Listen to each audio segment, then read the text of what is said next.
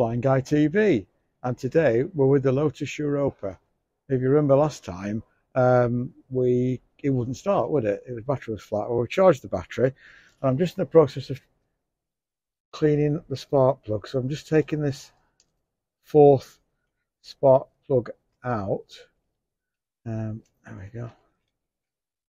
Yep. I've done this many times, I tell you.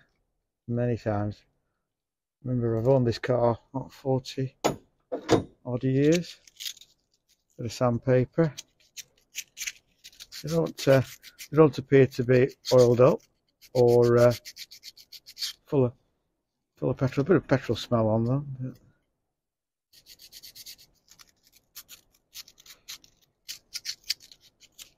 Bit of a windy day today. Oh, very windy day, to be honest.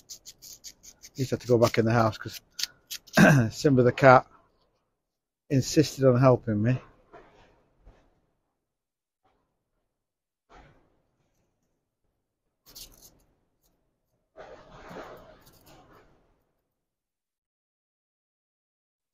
There we go. Right between the these are NGK sixes, and I think the number denotes how hot the plug is. I think uh, the lower the number, there we go. The lower the number, the um, hotter the plug, and the hotter the plug, easier it is to start because it doesn't get fouled up as much. I know from the GT40 that I had that uh, where you started running it on 8s, NGK 8s, and they were, uh, well, if you, if you didn't get it started first time, you take all eight plugs out. and on a GT40, that is not easy. That's it. that one's firm. That one's firm. Right, so I think we're ready. Let's just see how we. Uh, okay, I'm going to go around and uh, get in. See you later. Okay. Now we're back with it. Wouldn't start. It was firing with easy start. In fact, we we set the ruddy thing on fire. What do you believe? That's it. I'm just going to have a. I'm just taking the third plug out to have a little look, have a sniff. I don't suppose it's flooded if it was firing. It just doesn't seem to get any fuel. We've actually filled about two or three gallons. it's dry.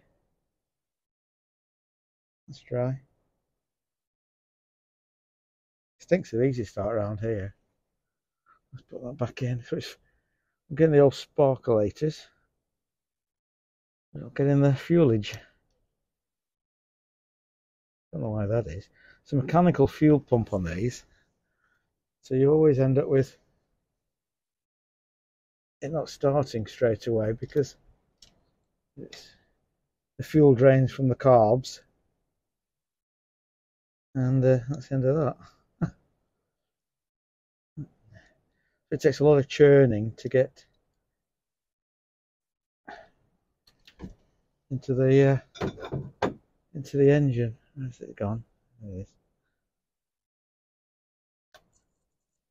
Oh, secure. Right, we'll give it one last try. Back to the back to the driver's seat.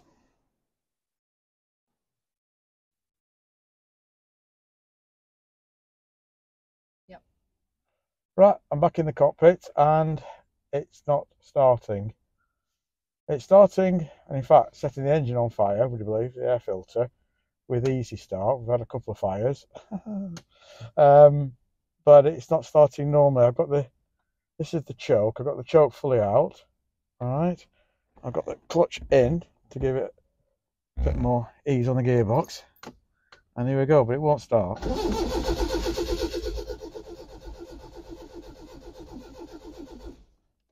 absolutely nothing at all. So it's obviously not getting fuel. Um, it ran last time perfectly well, and that was over a year ago. It's a mechanical fuel pump, so it can't be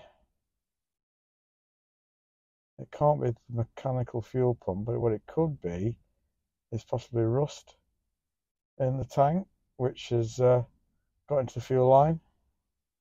I'm not sure if there's an air filter or not. I'm not going to check it today. That's all I can think. That's got two tanks, and they meet in the middle. So you fill one up, and they both fill up. Uh, I'm stuck now. We filled it with avgas, which is 100 octane low lead, which should make this into a dragster. And also, it's it's good for the it's good for the actual engine because um, it's got no ethanol in it, so it, it won't eat away all the soldered joints, the rubber, and everything else. But uh, lots of trouble, usually serious.